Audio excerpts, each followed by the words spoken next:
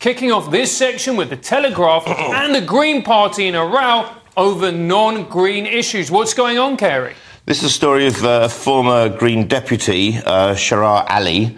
Um, who was fired because of his opinions on uh, trans issues and is now suing the party, which he'll probably win. We've, we've seen a number of these cases, and, and it's probably going to come down to a free speech case. And as we've seen each time, uh, the free speech argument normally does win. But this is a first of its kind because I don't think there's been one where someone has sued their own party for not allowing them to uh, to have their views. And I'm kind of binary on this because well, whilst on the sex on on no on the story of whether a party. I've only just looked at the story, and um, should a party uh, parties do have a line? They go, "This is the party line," and if you don't like it, that's what we're about. And uh, and if he's not towing that line, which is you know literally towing the line, then uh, uh they do they have a right to fire him and say this? It doesn't matter what you think, you know? Well, hang on a second. That's what though, we're about. Kerry. I, I do accept that point that they need to tow the party line, but when it is completely in denial of biology, surely, Lewis, this.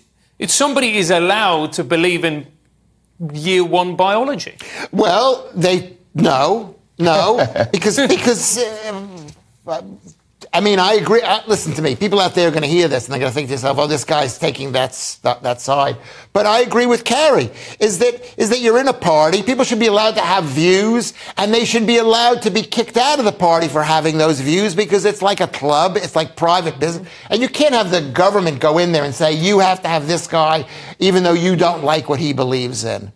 And I think that's the problem. I, have got to say, I don't like that. I don't like that's what our parties are about. I don't like that there are whips saying everyone's got to say the same thing. I'd. I'd rather, I'd rather be full of. In, but it doesn't work that way. That's not how uh, how our politics is. Yes, and, exactly. But I do, but I do remember when polit- political parties are more defining themselves by their economics and their polities rather politics rather than you know what but they think of, of, also, of, sex and gender and uh, you know biology. Those are also those are also belief systems and.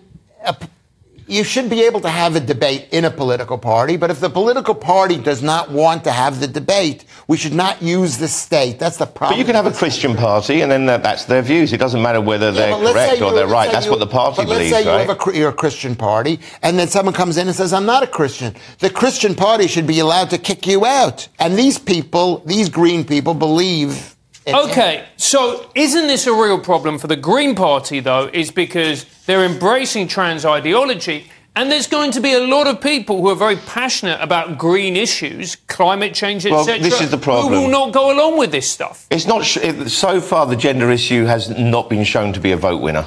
yeah, I, I mean, it, it hasn't. Yeah. We, we, so, yeah. so it's up to them. That's what I'm saying. They can make their decisions, and uh, it, it, it, tends to be a, a, bit of a punch in the face for, for what most of the public feel on the issue. But you're hearing the word green, and what they mean, and green includes green issues, but it also includes just the bog standard radical left issues yeah, as well. Completely agree.